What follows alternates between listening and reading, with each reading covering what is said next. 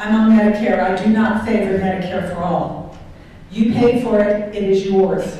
And I will stand by that. That, that is the program. Whether you like Medicare or not, but trying to open it up and make it universal health care, I believe, is folly. I believe in the open market. I believe that you have the right to buy your own insurance. I believe that the government has no right to tell you what you should or should not buy.